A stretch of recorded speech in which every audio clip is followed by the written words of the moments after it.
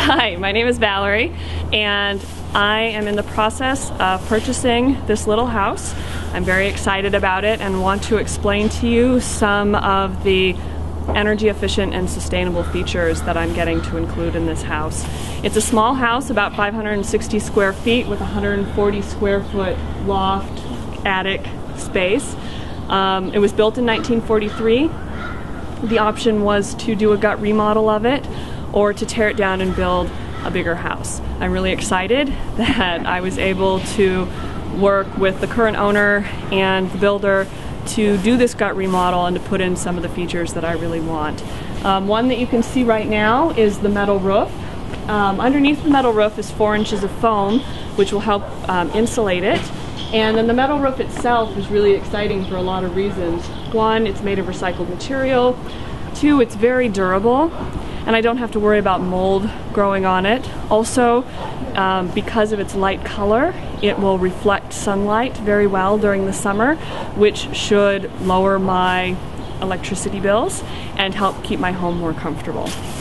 So we can go inside and see just a few more things that you're able to see today.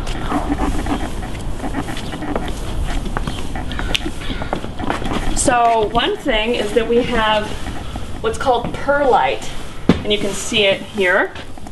Uh, perlite is a mineral and um, it's a byproduct from industry and so it's very sustainable in, in that sense as well which is great. And there's seven inches of it below the plywood here. So it'll be nice to actually have a warm floor because I've been walking around on cold rental floors for too long. Um, one thing that I'll talk about in the future is this Panasonic Spot ERV, which is going to help me have comfortable ventilation, and we'll get into that a little bit more when it's installed. Um, so today we are working on air sealing. Um, you can see that we're taping some stuff up so that we can figure out how leaky this old house is. And we're gonna do some work to make it tighter so that the air that I pay to heat or cool will actually stay in the house. And then that ERV I mentioned will help me have fresh air. And then the one other thing that is installed that you can see today is there's kind of can see. There's a bath fan, which is very going to be a very quiet bath fan and a very efficient one. So there are a couple other things I can show you right now because we don't have insulation and we don't have sheetrock. There have been these furring strips put in and we're going to do what's called blown in insulation where they'll take netting and staple it in and then fill the whole cavity with insulation which is easier than putting in those batt insulation which you've probably seen.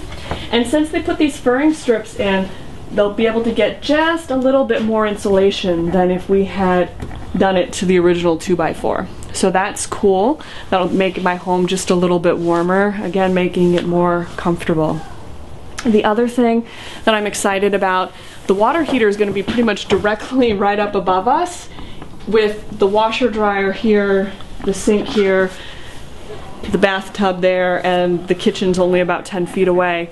So we're going to have very short runs for the hot water, which means, again, less money spent on getting the hot water where I want to use it.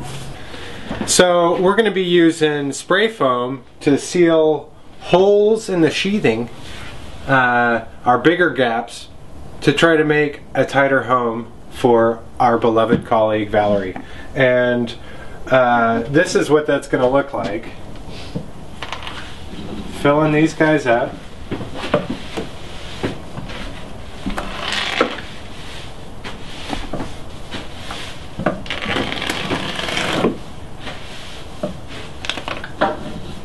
Little by little.